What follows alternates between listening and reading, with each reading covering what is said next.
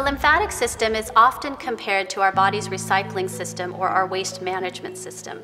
And if you think about this, this sort of makes sense. The lymphatic system is responsible for picking up all the leftover interstitial fluid, which is inclusive of proteins, cellular debris, and byproducts of cellular metabolism. So what I like to talk about with respect to the waste management system is very similar to what happens in your neighborhood. So in every home we have bathrooms, and your bathrooms are very similar to where your lymph vessels are going to collect the waste products and it's going to be flushed down to your lymphatic collectors. The collectors then are the sewage pipes that drain from your home in the bathrooms into the public sewage system. These collectors then are going to carry those waste products to the water processing plants. These water processing plants are just like our lymph nodes where that water is filtered and recycled and purified, ultimately to be returned back into the water system.